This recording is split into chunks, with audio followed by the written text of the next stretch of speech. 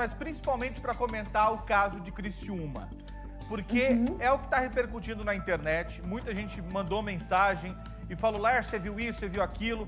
Aí eu disse: não, vamos atrás da Chaline, com a produção da tarde é nossa. Nós entramos em contato com você e a gente quer saber detalhes, explicar melhor essa previsão para a cidade de Criciúma, no sul do estado. Porque Tá, a princípio então seria lá. uma previsão de um evento climático, é isso, Chaline? Explica pra Eu vou gente. tirar aqui, tá? Novamente para Criciúma. Vamos ver Ó. qual a energia que está fluindo em Criciúma. É assim que se pronuncia, né? Isso, Criciúma. É. Criciúma.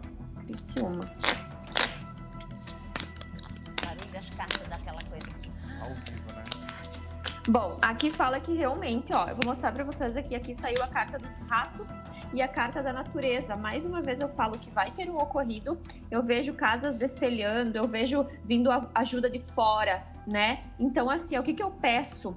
Ah, Inclusive um homem, talvez responsável, né, ali por, pela cidade, enfim, se prejudicando muito, as pessoas culpando ele por algo. Mas claro que não é culpa dele, né, gente? Mas aqui esse homem ele vai se incomodar bastante por causa dessa situação.